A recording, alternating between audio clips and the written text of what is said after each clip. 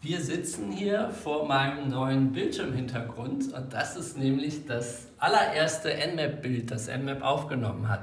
Was wir hier sehen, ist Istanbul, also der Großraum Istanbul mit dem Bosporus ganz prominent in der Mitte. Hier links haben wir das Bild dargestellt in Echtfarben, wie es auch das menschliche Auge erkennen würde. Aber Nmap hat natürlich noch viel mehr Farben als äh, nur dieses Rot, Grün, Blau.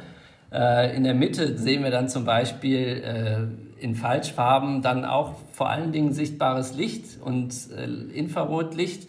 Aber hier ist dann extra gehighlightet verschiedenes Pflanzenwachstum, wo wir erkennen können, welche verschiedenen Pflanzen und dann eben auch Informationen über die Zustände der Pflanzen gerade hier aus diesen roten Bereichen ableiten können.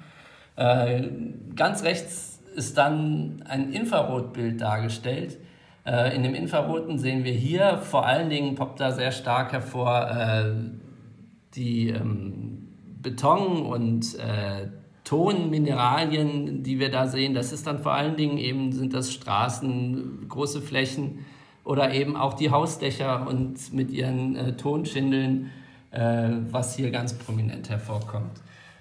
Aber man muss dabei bedenken, das ist das allererste Bild, das MMAP genommen hat und schon jetzt sind wir in der Lage, aus diesen Daten sogar auch Rückschlüsse auf zum Beispiel hier ähm, Algenwachstum zu, äh, machen zu können. Was wir hier sehen, ist äh, der Chlorophyllgehalt, also das heißt äh, die Menge an Algen im Grunde genommen, die im Bosporus vorhanden sind.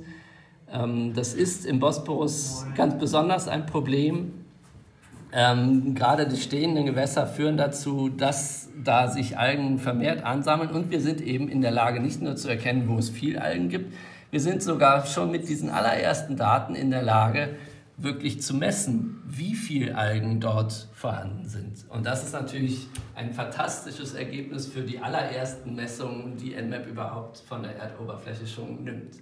Und ich bin wirklich sehr glücklich, das heute präsentieren zu können.